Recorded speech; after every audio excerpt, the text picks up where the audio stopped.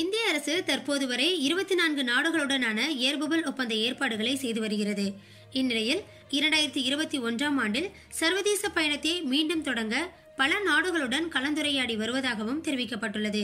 இதற்கிடையில் இந்திய சிவில் விமான போக்குவரத்து அமைச்சகம் அறிவித்துள்ள அறிவிப்பின்படி இந்தியா விரைவில் சவுதி அரேபியா மற்றும் சிங்கப்பூருடன் ஏர்புபல் ஒப்பந்தத்தை தொடங்க உள்ளது என்றும் இந்தியா தற்போது Afghanistan Bangladesh Bhutan Canada France Germany Japan Kenya மாலத்தீவுகள் நேபாளம் Netherlands Nigeria Oman Qatar Rwanda Tanzania போன்ற இருபத்தி நான்கு நாடுகளுடன் ஏர்புபுல் ஒப்பந்த ஏற்பாடுகளை ஏற்படுத்தியுள்ளது என்றும் பஹ்ரைன் ஐக்கிய அரபு அமீரகம் யுகே மற்றும் அமெரிக்கா போன்ற ஐக்கிய ராஜ்யத்தில் இந்தியா ஏர்புபுல் ஒப்பந்த ஏற்பாட்டை கொண்டிருந்தாலும் மரபணு மாற்றமடைந்த வைரஸின் காரணமாக டிசம்பர் முப்பத்தி ஒன்றாம் தேதி வரை இங்கிலாந்திலிருந்து வரக்கூடிய மற்றும் இங்கிலாந்திற்கு பயணிக்கக்கூடிய அனைத்து விமானங்களையும் நிறுத்தி வைத்தது.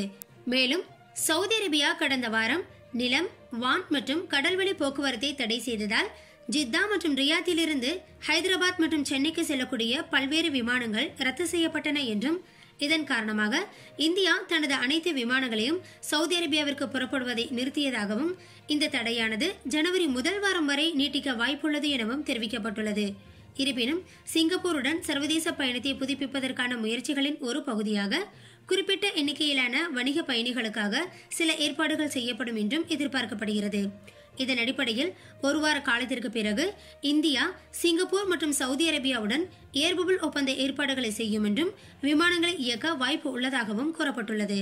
இதேபோன்று கத்தாருக்கும் இந்தியாவிற்கும் இடையே ஏற்பட்டுள்ள ஏர்புபுல் ஒப்பந்தமானது தற்போது ஜனவரி முப்பத்தி ஒன்று வரை நீட்டிக்கப்பட்டுள்ளதாக கத்தாரில் உள்ள இந்திய தூதரகம் தெரிவித்துள்ளது. மேலும் தென் அமெரிக்கா மற்றும் ஆப்பிரிக்காவில் உள்ள இந்தியர்கள் கத்தார் இந்தியா இடையே ஏற்படுத்தப்பட்டுள்ள ஏர்புபல் ஒப்பந்த ஏற்பாட்டை பயன்படுத்திக் கொள்ளலாம் எனவும் இந்த பகுதிகளில் இந்தியர்கள் தோஹா வழியாக செல்ல முடியும் எனவும் தெரிவிக்கப்பட்டுள்ளது.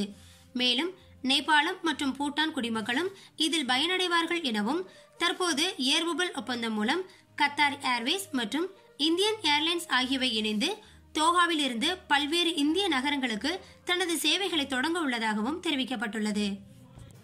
மேலும் இது போன்ற செய்திகளை உடனுக்குடன் தெரிந்து கொள்ள நியூஸ் சேனலை சப்ஸ்கிரைப் செய்து கொள்ளுங்கள். கூடவே பெல் பட்டனையும் கிளிக் செய்து கொள்ளுங்கள். நன்றி.